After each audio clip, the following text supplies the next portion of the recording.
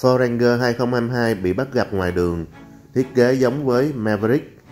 Sau video teaser được Ford công bố cách đây ít ngày, mới đây hình ảnh chiếc Ford Ranger 2022 bị bắt gặp chạy thử trên đường phố tại Thái Lan với phần đầu khá giống Maverick tiếp tục được chia sẻ rộng rãi trên các mạng xã hội.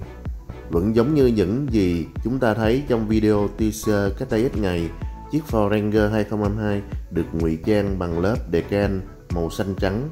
Ở bên ngoài rất kín đáo. Tuy nhiên, với những hình ảnh mới đây, chúng ta có thể thấy rằng hình dung được phần đầu xe hoàn toàn mới trên Ranger 2022. Thiết kế đầu xe mới được lấy cảm hứng từ mẫu xe bán tải cỡ nhỏ Maverick và đàn anh F150 đèn pha hình chữ C được đặt bên cạnh lưới tản nhiệt hình lục giác lớn được nối với nhau bằng một nẹp kim loại kép hoặc nhựa cao cấp đi kèm logo của Ford.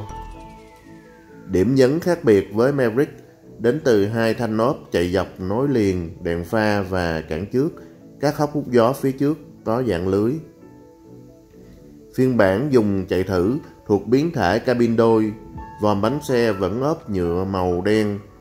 Mâm xe mới cụm đèn hậu LED thiết kế 3D đẹp hơn, bật lên xuống gắn cố định hai bên. Ford đã mô tả chiếc Ford Ranger mới và chiếc Ranger cứng cáp nhất, khả năng vận hành ấn tượng nhất, nhiều công nghệ kết nối nhất và linh hoạt nhất từ trước đến nay. Chiếc bán tải này sẽ chia sẻ nền tảng khung gầm LED frame với VW Amarok. Thế hệ tiếp theo, Ranger 2022 có thể được nâng cấp động cơ EcoBlue 4 và 6 xi lanh. Tuy nhiên, động cơ diesel EcoBlue tại một số thị trường cùng với tùy chọn plug-in hybrid.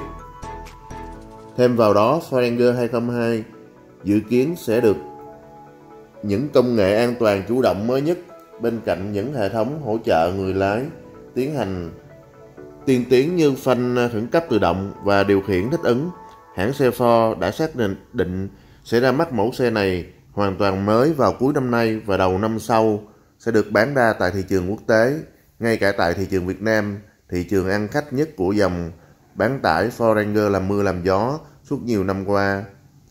Với những thông tin trên đây, các bạn hy vọng về một chiếc Ranger như thế nào? sẽ comment, like, subscribe kênh để mình có động lực ờ, làm những video clip mới nhất phục vụ cho anh em đam mê xe.